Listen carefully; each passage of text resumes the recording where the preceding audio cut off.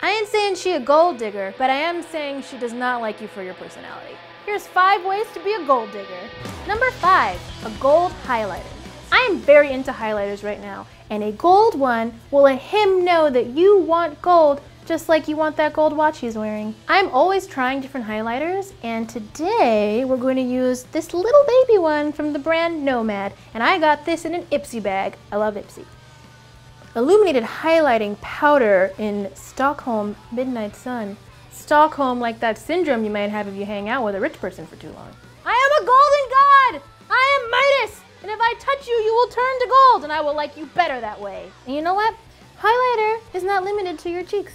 Put that shit all over your face. The more gold you wear, the more likely gold will return to you. I'm Putting it on my nose.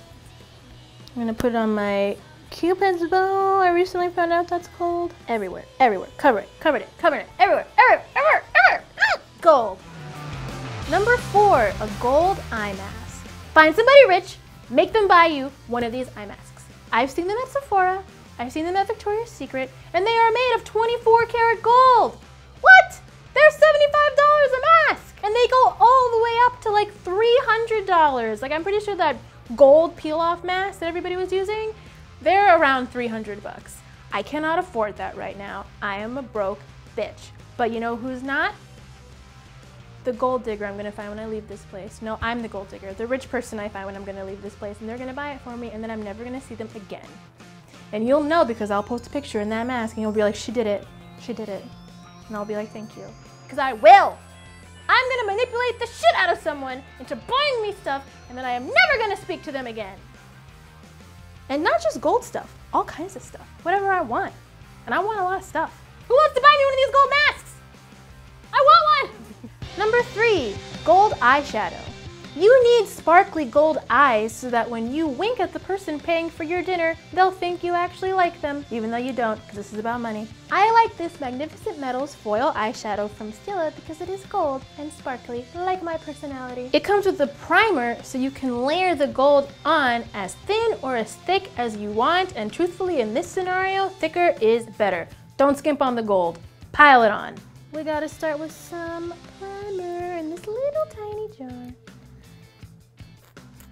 Go, go, go, go! Oh my god, this is bad. Okay.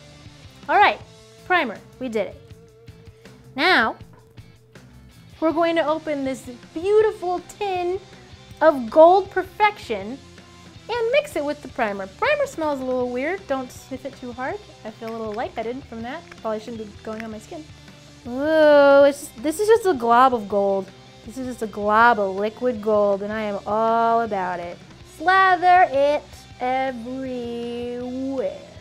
Realizing now that gold and money can make you happy. I'm thrilled right now with the way my face looks. Do you see this?